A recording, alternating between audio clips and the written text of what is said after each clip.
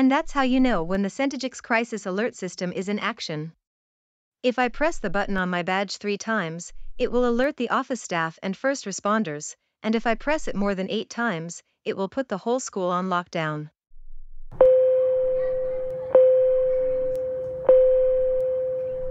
All right, everyone, have a great recess. Damn, there's nothing for me to do out here. Hey Chris, what's up? Oh, hey Caillou. I'm just pretty damn bored because I can't think of anything to do out here besides just sit on the bench. Well Chris, I got an idea on what we should do. I've heard about your sister Penelope and her stupid friend Everly, so why don't we go over and bully her? That's a great idea, Caillou. Let's bully Everly.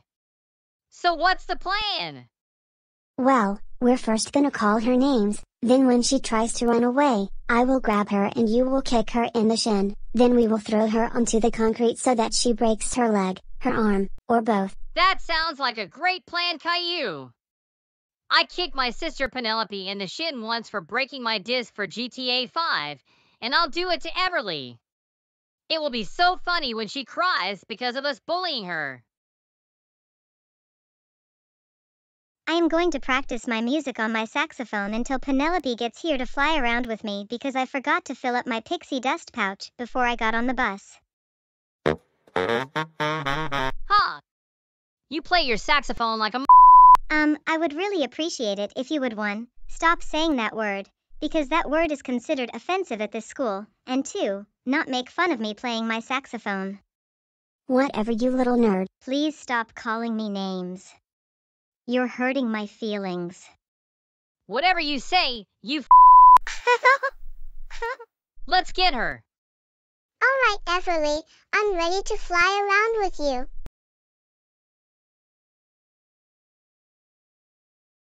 Everly, where are you?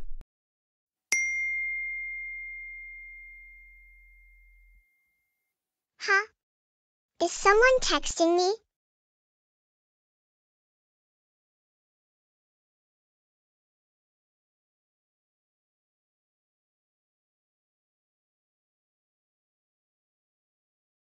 Oh no.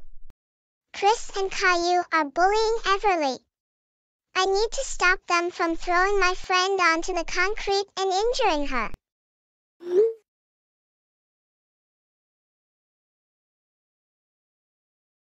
Chris, please, put me down. No. I'm throwing you, and no one will save you. Yeah, Everly, there is no one who can save you now. So prepare to be injured. I gotcha. Oh my gosh! Penelope, you saved me. What would I ever do without you?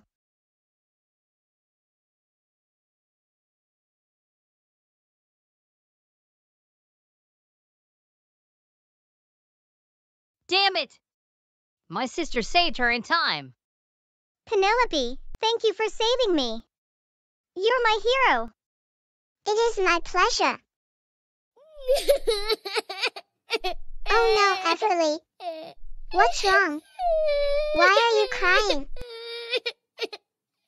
Oh, Penelope, Chris and Caillou were bullying me because they said I play my saxophone like a m- Then they called me names. Then when I ran to tell Mrs. Ellie, they chased me over here. Then Caillou grabbed me and Chris kicked me in the shin. And then he threw me.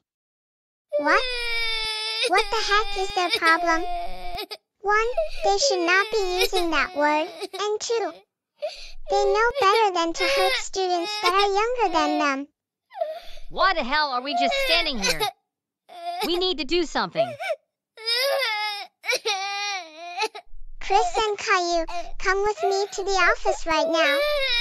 I can't believe you were bullying my friend Everly. Is there something I can help you with? Well, Principal Jennifer, my brother Chris and his friend Caillou from the show Caillou decided to bully my friend Everly while she was playing her saxophone, and they made her run off crying, leaving her saxophone on the playground. Then Chris kicked her in the shin and threw her high up to where she would fall onto the concrete and get injured. But thankfully, I saved her in time before she could fall all the way to the ground and injure herself. Wow, Penelope, I am so proud of you for saving your friend from getting injured, and for this, you get to have a free class period with Everly. Oh boy. Did you hear that, Everly? We get a free class period together. Yay! A free class period with you. You're my favorite friend. Alright, Penelope and Everly, you all can go back outside to get your saxophone while I talk to Chris and Caillou. As for you, Chris and Caillou, this school is a bullying free zone, which means bullying is never tolerated at this school. Not only you violated the guidelines by bullying Everly, but you nearly injured her, but luckily, Penelope saved her in time. For this, I am going to call your parents and teachers for a conference. Thank you all for coming on such short notice. If I didn't already tell you when I called you in, Chris and Caillou decided to bully Chris's sister Penelope's friend Everly and tried to throw her so far that she would get injured, but luckily, Penelope saved her in time. Chris, you have got to be kidding me. You know Everly is Penelope's best friend, and you dare to bully her. Caillou, we can't believe you tried to injure a student's friend. So here is what's going to happen. Chris and Caillou are going to be suspended from school for two weeks. Then when they get back, they will serve lunch detention the week they get back. Those sound like fair consequences. All right, you all are free to go. Come on Caillou, we are going home right now. Chris, we are very mad at you for bullying Everly. You know Everly is my best friend. That's it. You are grounded for the next four weeks, and you owe her an apology, so the next time Everly comes over, you are going to say sorry to her, and if you don't say sorry, you will be grounded even more. Now go upstairs to your room and think about what you and Caillou did to my friend. Yeah, Chris, what Penelope said. Go upstairs to your room. Penelope, what the hell are you thinking? You cannot ground me. I'm your damn brother for heaven's sake. First of all, Chris, you need to stop using those words around me, because I don't like it, and second, Mommy said I can ground you if I have to. Caillou, words cannot describe how angry we are at you. How dare you bully Everly? You know she is Penelope's best friend. That's it. You are grounded for the time being of your suspension and lunch detention, and if we get a call from the school that you skipped lunch detention, you will be grounded longer. Now go upstairs to your room and don't come out until dinner is ready. What? Uh,